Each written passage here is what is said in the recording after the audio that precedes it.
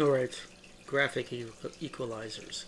Okay, so for graphic equalizers, you mainly want to use graphic equalizers to balance your instruments out.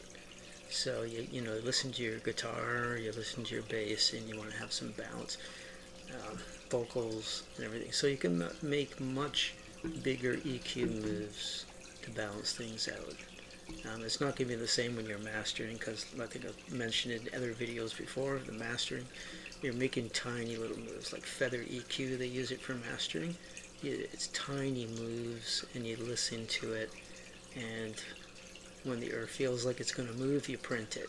But you know, if you make two big moves doing your mastering, um, you're going to put your audio out of phase, right? So, um, anyways, back to this. So you're going to make moves here to put your guitar, bass, vocals, and make them sound really good and balanced together.